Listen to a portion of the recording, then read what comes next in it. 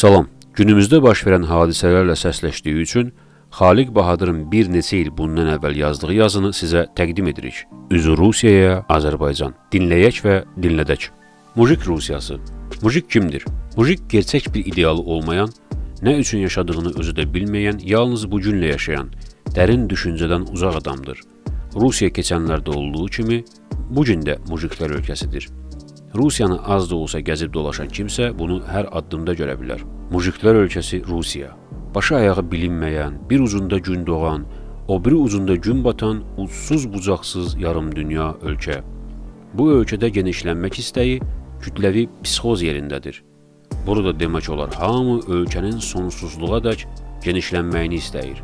Nə olur olsun, necə olur olsun, ölkə genişlənsin.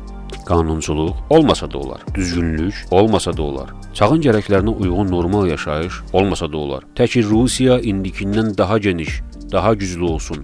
Ən azı 1-ci Pyotrdan bu yana Rusiyada güc bütün toplumun, bütün ölkənin gəlişməsi, yüksəlişi ilə deyil, başda duran yöneticinin güclü, dəmir əli ilə ölçülür. Mujik psixologiyası. Bu gün Rusiya belə bir yönetici Putinlə güclüdür. Mujik Rusiyası buna görə Putini çox sevir. Putin Krımı tutandan sonra Mujik Rusiyasının kumirinə çevrilib. Statistika göstəricilərinə görə Rusiyada güclü cinsin 90%-nin, başqa sözlə desək, %90-ının potensiya problemi var.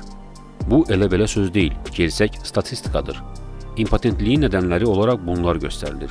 Alkoqolizm, siqaret çəkmək, narkotik, stres. Rusiya bütün bu öldürücü göstərişlərin geniş, özü boyda bataqlığına çevrilmiş ölkədir. Buna görə son 25 ildə Rusiyada 40 min köy ölüb yoxa çıxıb. Buna görə Rusiya bütövlükdə diriliyini itirən ölgün, ölümcül bir ölkəyə çevrilib. Putinə bu ölkəni sağlamlaşdırıb, gəlişdirib, dirildib, dirçəldib ayağa qaldırmaq gərəkirkən, Putin bu yerdə sürünən ölkənin sınırlarını daha da genişləndirməyə girişir. Bir yandan Avrasiya birliyi yaratmaqla, o biri yandan haralardasa ələ düşən olanaqdan yararlanaraq saldırı, aqressiya variantını əl atmaqla öz ölkəsini gərəyincə yönətə bilməyən Rus yöneticisi, öz ölkəsində ağalıq edə bilməyən Rus toplumu özgə ölkələri yönetmək, özgə toplumlara ağalıq etmək kimi ağılsız, yaramaz istəklərə yüklənmək görsənişləri ilə gerçəkdən fenomen anlaşılmazlıqdır.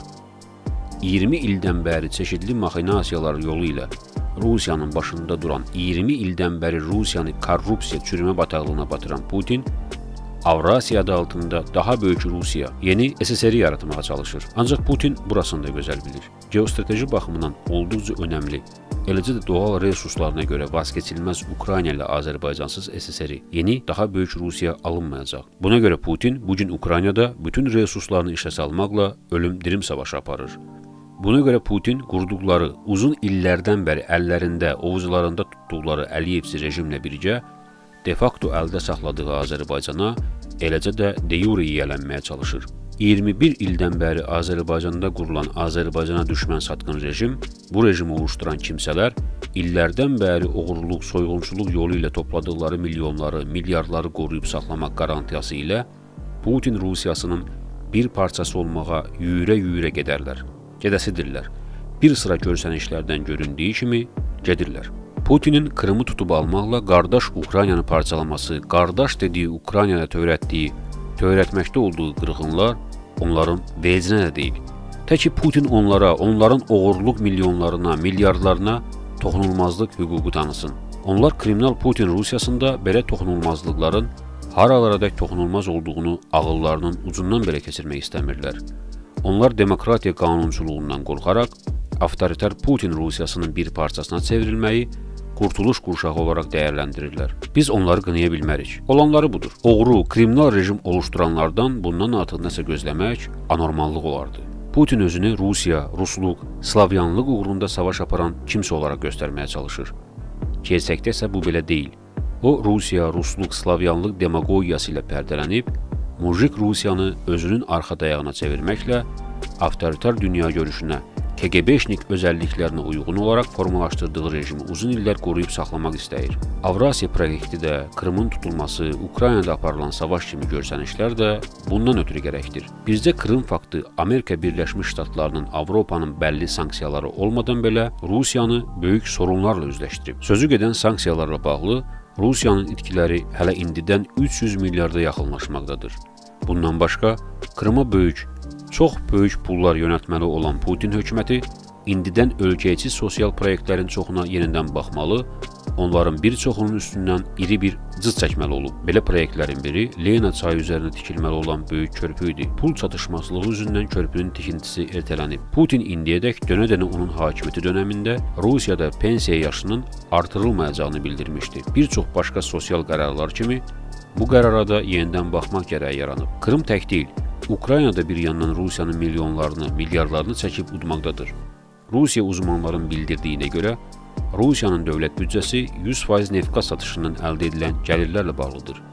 Bu isə ölkədə ekonomikanın yoxluğu deməkdir. Güclü ekonomikası olmayan ölkə uzun sürə böyük itkilərin qarşısında duruş gətirə bilməz. Bu baxımdan indiki sürəc içində Rusiyanın bütünlüklə çökəcəyi gün uzaqda deyil. Putin qardaş dediyi Ukraynada bütün parametrlər üzrə savaş aparır. İnformasiya savaşından tutmuş hərbi diplomatik savaşadək. Bu amansız Putin savaşının konkret göstərişlərindən biri. Rusiyanın birinci kanalı başda olmaqla televiziyalar Slavyanskın Lenin meydanında Ukraynalıların 5 yaşlı rus uşağını çarmıxa çəkdiklərini bildirmişdi. Sonrakı araşdırmalar çarmıxa çəkmə faktının yalan olması bir yana, Slavyanskda Lenin adlı meydanın olmadığı faktını ortaya çıxardı. Bizim İradə Zeynalova başda olmaqla o yalanı yayan jurnalistlərin, televiziyaların biri də ən azı bilmədən yalan danışdığını demədi. Rejimə belə gərək idi. Biz buna bənzər yalanları Rusiyanın başında durduğu Qarabağ savaşında gördük. O savaş boyunca Rusiya telekanalları ermənilərin etdikləri vəhşilikləri Azərbaycanlıların ayağına yazırdılar. Bu günlər Rusiya çoxsaylı pul itkiləri üzündən ağır durumla üzləşib. Ağır durumunu yüngülləşdirmək üçün Rusiya üzünü Azərbaycana çevirib. Azərbaycanla daha çox yaxınlaşmağa, Azərbaycandan daha çox nələrsə qoparmağa çalışır. Elə bu günlərdə ermənilərin törətdikləri bəlli qırğının arxasında da Rusiyanın dayandığı hamıya aydındır. Rusiya hansısa itkilərinin yerini Azərbaycanı qorxutmaqla doldurmağa çalışır. Bu qorxutmanın üstündən Rusiyalı siyasətçilər utanıb qızarmadan Azərbaycanla bağlı hansısa umacaqlarını dilə gətirir, açıq-aydın Azərbaycanın sanksiyalarla sıxışdırılan Rusiyaya yardım etməsini istəyirlər. Azərbaycanda 21 ildən bəri qurduqları, illərlə arxa durduqları rejimi yaxşı tanıdıqlarından onlar istədikləri yardımı alacaqlarına arxayındırlar. Bütün Sovet hakimiyyəti boyunca Ermənistan dotasiyada oldu. Azərbaycan donor funksiyasını yerinə yetirdi. Buna baxmayaraq bütün Sovet hakimiyyəti boyunca Ermənistan, ermənilik Moskvadan qayğı, Azərbaycansa qamçı gördü. Sovet hakimiyyətinin ilkin çağlarında Azərbaycan torpaqlarında qanlı qırğın yolu ilə Ermənistan yaradan ruslar Sovet dağılan çağlarda da Azərbaycanın Qarabağ bölgəsində qanlı qırğın yolu ilə ikinci Ermənistan yaratdılar. Son 25 ildə Moskva Ermənistana, erməniliyə milyardlarla dollar dəyərində yardımlarda bulunub bulunmaqdadır. Azərbaycana qarşı erməniyönlü çoxillik informasiya savaşı da öz yerində. Uzaq yaxın keçmişdə olduğu kimi, bu savaşın başında bu gün də birbaşa Rusiyalı siyasətçilər dayanır. Rusiyanın ermənisevər siyasəti necə dəyişməzdirsə, anti-Azərbaycan, anti-türk siyasəti də eləcə dəyişməzdir. Rusiya siyasətçilərin demək olar hamısı ermənisevər, anti-Azərbaycan, anti-türk baxışlıdır.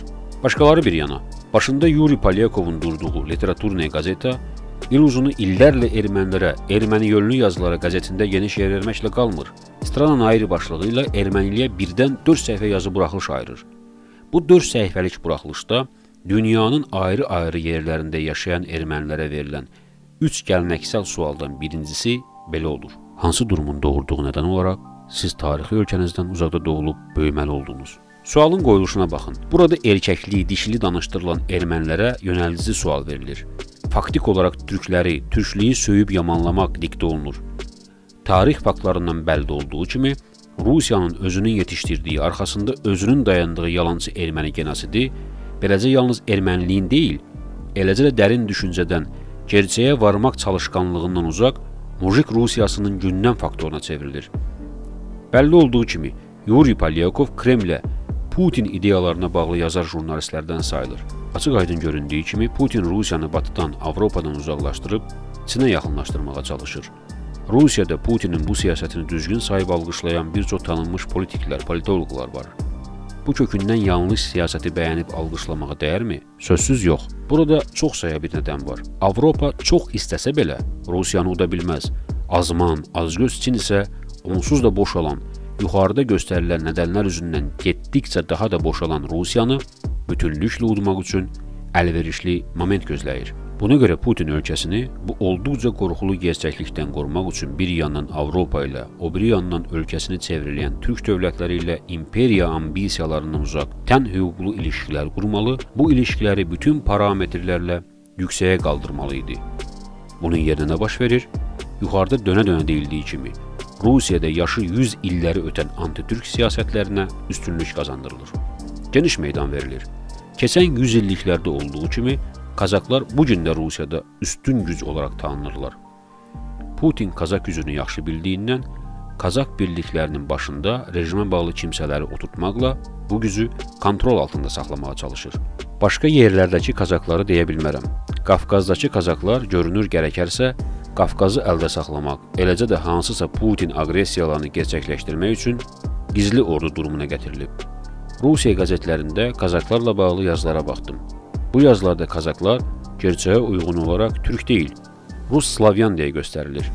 Bu da Rusiyanın birbaşa Putinin anti-türk siyasət yürütməsinin konkret görsənişlərindəndir. Deyəsən Puşkinin Əyil Qafqaz, Yermolov gəlir buyruğu yenidən aktuallaşır. Üzü Rusiyaya Azərbaycan yazıda göstərilən fakt siyasət toplusu ilə üzləşəcək Azərbaycan deməkdir. Bizə belə Azərbaycan gərəkdirmi?